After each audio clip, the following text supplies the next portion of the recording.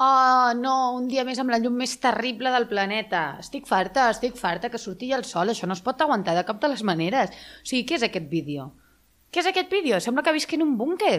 Que surti el sol, de veritat t'ho dic. M'estic posant ja una mica enfadada de, de veritat. En qualsevol cas, aquesta setmana ve carregada, carregada, carregada de coses bones, de coses dolentes, de coses que et poden semblar bones o dolentes.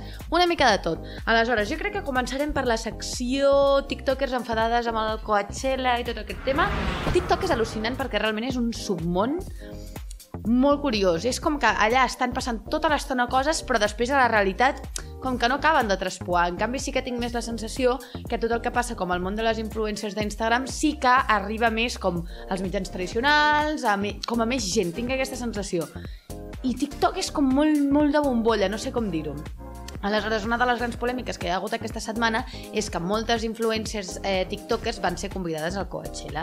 Rivers, Clàudia Garcia, Laida Martorell, l'Andrea Palazón, moltes, moltes, moltes. I jo ara ja les conec totes. Jo per mi ja són totes hashtag family i van estar convidades, totes com a diferents cases, etc. La Mar Lucas, l'Abril Cols, la Marta Díaz... Vale.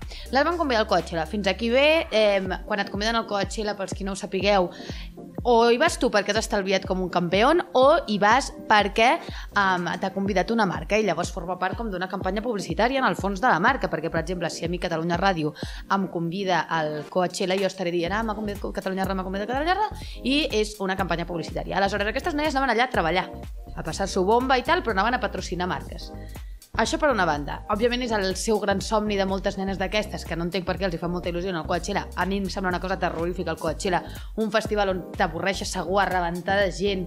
Per algun motiu, o sigui, passen coses molt estranyes en aquest festival. Jo tinc la sensació que és un festival molt de postureig, que ho sap tothom ja, però una gran prova és que no veus ningú fumant a cap foto. Eh, en un festival a l'aire lliure, per què la gent no està fumant? Doncs perquè la gent està tota l'estona fent-se fotos i, i per això no fuma. M'explico? Vull dir, perquè tu fas una foto a Polo dintre, ja no dic a la terrassa, dintre, que no es pot fumar i sempre surt algú amb un cigarro. Perquè la gent quan surt de festa fuma, molta gent. Jo no, eh? No us penseu, sisplau, no us penseu que estic parlant per mi, però ja m'enteneu.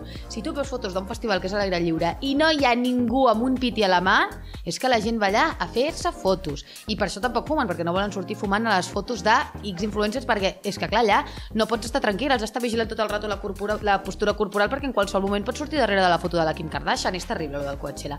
En qualsevol cas, um, hi han anat totes aquestes influencers i, clar, una de les qüestions més importants del Coachella és els looks, els modelets, els outfits té com un estil molt marcat, així com bohemi, hipiós, etc. I, i moltes de les noies es veu que no van acabar d'encaixar en aquest dress code. Jo no tinc puta idea de moda així ni, ni de res d'això, llavors no, estic, no puc opinar de si em semblen bé o em semblen malament els looks. Em semblen avorrits, però a mi normalment les coses em semblen avorrides, aleshores és normal. La cosa és que és això, hi ha molta gent que va criticar dient que si vas al Coachella el mínim que pots fer ja que et conviden és currar-te un modelet de l'hòstia, Aitana Soriano, Carolina, moltes han dit això, no? Com us heu vestit com el puto cul.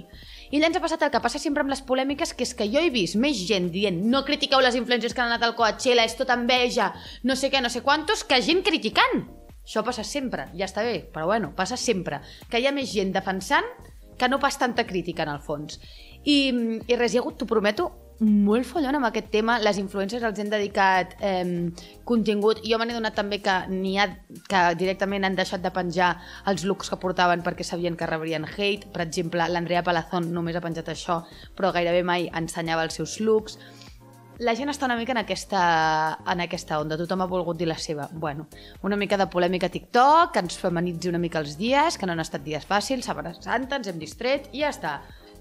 Altra cosa, ja tothom hem decidit que realment pobres xavales, què més ens dona com van vestides, escolta, ja allà estem tots mirant els seus TikToks, donant-li likes, prou ja, és que és veritat, és que jo penso també que és enveja, és que la gent vol anar al Coachella normal, i la gent vol que li regalin un viatge a Los Angeles, és que clar, és normal. En fi, no passa res. La gent hauria de reflexionar un minut abans de publicar, depèn de què, les xarxes socials, i també m'ho dic a mi, eh? perquè a mi el que m'agrada a mi publicar sense pensar és al·lucinant. Després, una altra cosa que ha passat és secció bebès. Secció bebès, Marta Pombo està embarassada. Oh, aquesta història pot ser més forta. Mini story time de eh, la història de la Marta Pombo. Marta Pombo, germana mitjana de la família Pombo, per tant, al mig de la Lucía, que és la gran, i la Maria, que és la més famosa, que és la petita, està la Marta Pombo, que ella sempre s'ha definit ella mateixa com una persona que ella sent que no té com cap gran talent, a part de ser una persona vitamina paraules textuals d'ella. Què passa? Que la Lucía és com una tia que és pilot d'avió, és com laboralment ha arribat molt amunt, és com molt responsable, és com molt aplicada, és com molt quadriculada, i la, Mar la Maria Pombo és la puta Maria Pombo, és una estrella de, dels influencers, és guapíssima, tot li té la vida ideal, té un bebè preciós, té un nòvio que és el complement perfecte, etc. Llavors ella ha explicat moltes vegades que es troba com al mig de dues germanes idíl·liques eh, i que moltes vegades s'ha qüestionat en plan, tio, jo perquè no tinc com res a destacar? Eh, però que al mateix temps ella se n'adona que la seva gran virtut és ser la tia més graciosa, més simpàtica del planeta. O sigui, és una tia que té gràcia, és una tia que tu la veus i et pot caure malament o bé, però està allà fent les seves bromes. Es nota que és la més, la més salera, que dirien els andalusos, no? És la que té més salsa i aquesta tia des del 2011 va estar, o sigui, va estar del 2011 al 2019 o 2020 amb un tio és un tio que no se la mereixia per diversos motius. Un tio absurd, amb look de puto californià, amb de tio que li agrada el surf, que jo és una cosa que per mi és línia vermella. O sigui, no! No! A què jugues? Tens 35 anys. Si us plau, para de fer el ridícul i de penjar fotos ensenyant la tableta amb el cabell llarg fins aquí greixós. Renta del cabell! Bueno, és que jo estic molt en contra del Luis, Eh, principalment també perquè li va posar les banyes. Aleshores, la Marta Pombo i el Lluís es van casar al setembre del 2019, um, just abans de la pandèmia, i justament quan es van casar unes setmanes abans van començar a sortir molts rumors i moltes captures i fotos de el Lluís embolicant-se amb, amb altres ties, de, del, del Lluís, de noies que deien que s'havien tirat el Lluís en, en festes majors, vaja, que es va descobrir que la Marta Pombo portava unes banyes que la pobra xavala no entrava per, pel túnel de les Glòries de Barcelona terrible, perquè no entrar pel túnel de les Glòries és fer una volta al·lucinant. Vaja, que la tia portava unes banyes al·lucinants i tothom va pensar que, clar, que no es casaria, perquè el casament era com dues setmanes després. Pam, la tia es casa. Tothom estranyadíssim, poc contingut sobre aquell casament, la qual cosa és estranya a la família Pombo, que viuen en un documental constant, que per cert, parlant de documentals, toca fer-li un documental a la família Pombo ja de ja, espero que l'estiguin fent. En qualsevol cas, això, es casen i literalment al cap de 3 mesos diuen ens hem separat, literal. Es separen i aleshores la Marta Pombo té una depressió molt grossa que li fa deixar les xarxes socials, um, està 6 mesos o 7 mesos sense publicar i després torna i explica com tot el seu procés. O sigui, una cosa que jo crec que és molt bona de la Marta o que almenys jo li valoro molt és que ha explicat molt transparentment tots els seus problemes de salut mental i, i que sempre ho comparteix tot de manera molt natural i jo això li agraeixo de veritat perquè crec que pot ajudar de veritat a, a molta gent, sobretot perquè crec que el, el públic de la Marta és molt més generalista i és un públic que normalment potser no parla de salut mental amb, amb la mateixa naturalitat que sí que ho fan altres públics, saps? O sigui, per mi que la Marta Pombo, una tia com tan tradicional, que el seu tipus de públic és com més conservador, tal, parli de salut mental, té més valor que que ho faci un altre tipus d'influencer. Aleshores, la cosa és aquesta, que aquesta tia, amb tot aquest quadre, de cop ens informa fa sis mesos o així, que té un nòvio, un tio basc, que també es diu Luis. Buenorro. O sigui, un tio està boníssim, que és dentista, que és basc. O sigui, per mi és el, és el meu somni, aquest noi. És, és que és el que totes ens mereixem després d'un ex desgraciat que ens la fot, ens mereixem aquest tio. Què passa? Que, clar, molt a favor de que estiguem aquest noi, de cop i volta ja el veiem introduint-se molt més en totes les coses familiars de l'Espombo, vull dir, ja surt a totes les fotos familiars, i aleshores, de cop i volta, fa aquesta setmana, informen que estan embarassats no hi ha tants mesos. No hi ha tants mesos, o sigui, s'han quedat embarassats fa, fa menys d'un any que estan junts, o deu fer un any que estan junts. O potser fa més i no ens han informat, però vaja, a mi em sembla molt fort quedar-se embarassada després de sortir només un any amb una persona i sobretot tenint en compte que la Marta acaba de sortir recentment d'una relació de gairebé 10 anys. Però és que a més d'això hem de recordar que la família Pombo és molt conservadora a nivell que quan es casen va el pare, o sigui va el, el senyor que vol demanar de casar a la filla, a la família i fan com tota una cerimònia de pedida on, la, on el fill o sigui, on el, per exemple el Pablo, el Pablo Castellano va haver d'anar i va haver d'anar a casa del senyor Pombo, del Papín, i li va haver de dir vull casar amb la teva filla, em dones la mà de la Maria... Vull dir que fan totes aquestes tipus de coses, que va sonar l'himne d'Espanya al seu casament, el casament de la Maria Pombo, han tingut un fill fora del matrimoni, i això és algo que em sorprèn molt. El 22 de febrero, o sea, el 22 del 2 del 2022 a las 22 horas y 22 minutos hice una lista de deseos para luego quemarla y que se cumplieran? Pues obviamente eh, un primo para Martín. en la lista. Eh, pero es que lo gracioso de, todo esto, bueno, un primo para Martín en el año 2022, que era muy poco probable, os tengo que decir. Eh, pero lo gracioso es que yo quemé el, el papelito en la pila de, la cocina y me quería quedar con un recuerdo, o sea, no quería que se quemara todo, todo, todo el, eh, el, el papel.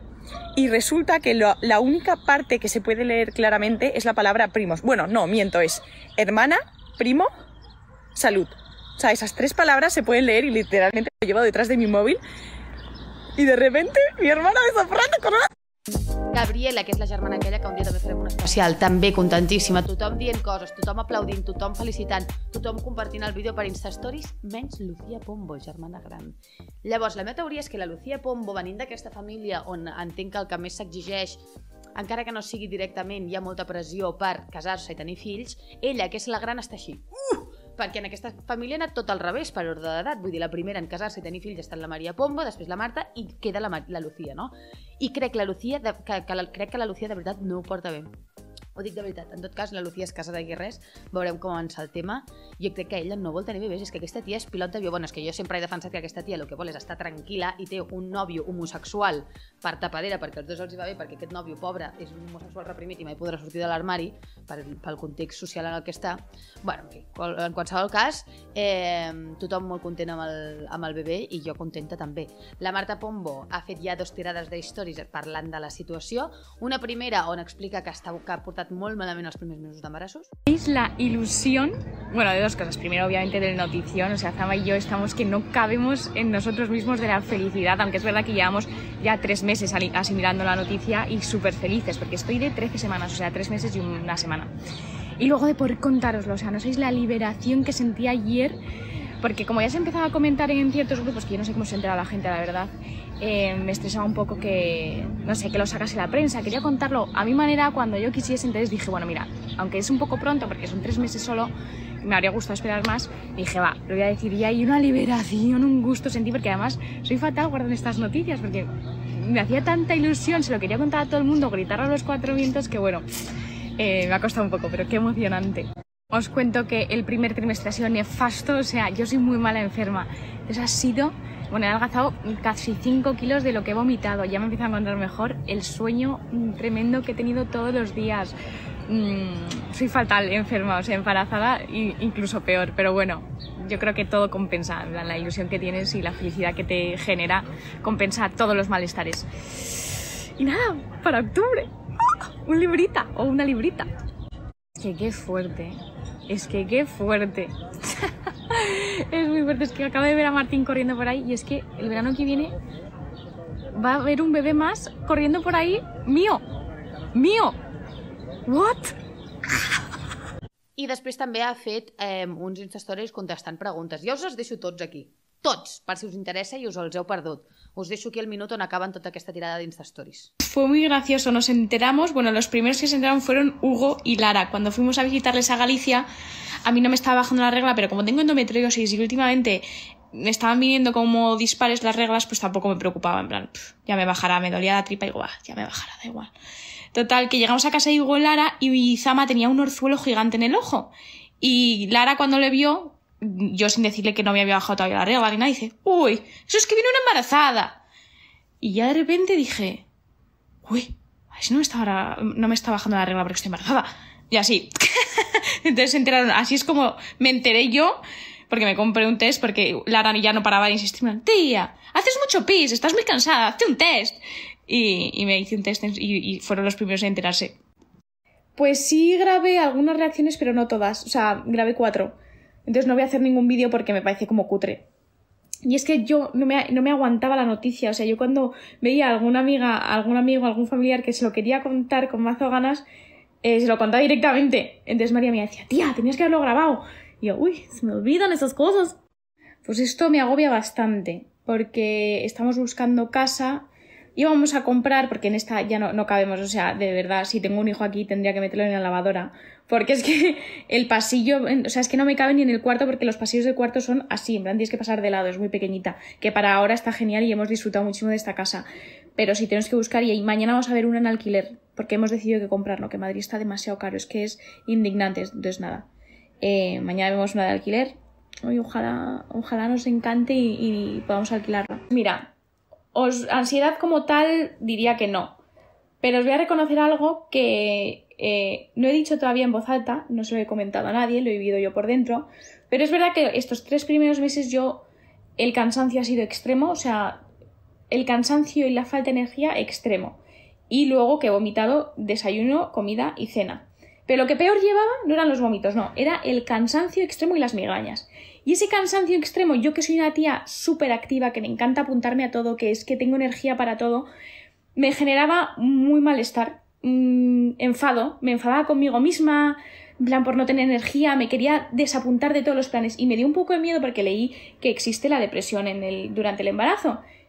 Y me vi identificada esa sensación de no querer hacer nada, ni ver a nadie, ni tener ganas de hacer absolutamente nada, a esos momentos en los que tuve depresión. Pero es verdad que nada que ver, que, que esa... Eh, pero sí, tuve esa sensación de inapetencia por la vida.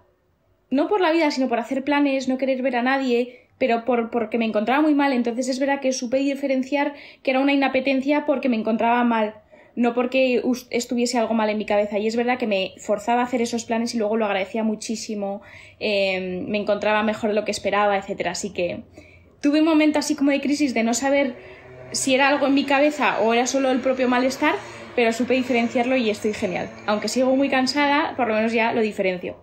Eh, la verdad que eh, algo que me preocupaba mucho, eh, primero era que saliese la noticia antes de los tres meses, porque como había tenido ese hematoma, un poco de riesgo, tal, perderlo y que hubiese salido una noticia y tener que dar explicaciones que no me apetecía nada, también me daba mucha pereza que se enterase la prensa y contase la noticia antes que yo, porque era algo que me apetecía, me hacía demasiada ilusión contarlo yo, era una noticia tan bonita y tan emocionante que quería contarla yo, entonces quise tener mucho cuidado eh, y es verdad que en fiestas y así como, es que a mí no me veis sin una cerveza y eso me agobiaba mucho porque soy muy cervecera y, y muy fiestera. Entonces en cada fiesta me servía o una copa de Sprite o agua con gas.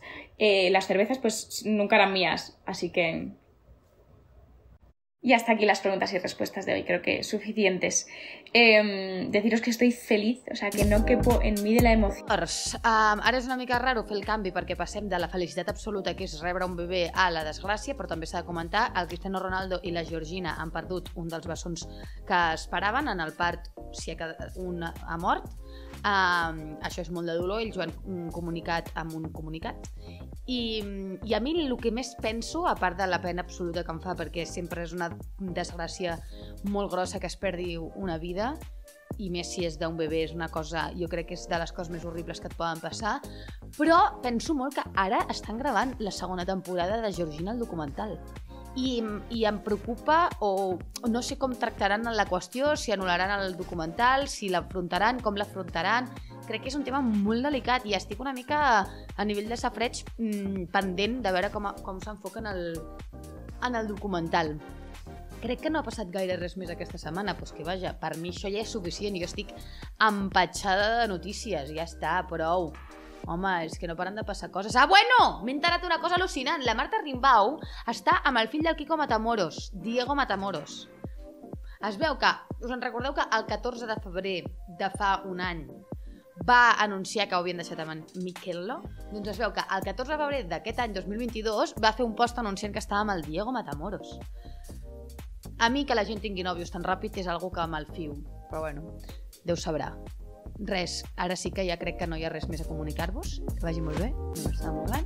I ens veiem la setmana que ve. Espero que amb una mica més de sort.